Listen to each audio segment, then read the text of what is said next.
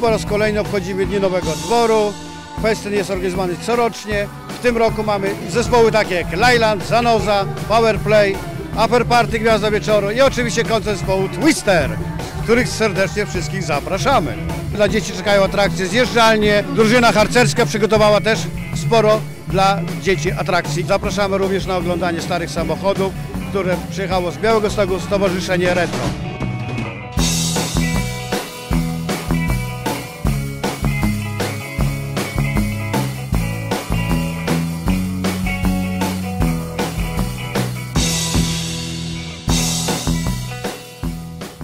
Życzę wszystkim miłej zabawy i, i Dni Nowego Dworu uważam za rozpoczęte. Dziękuję.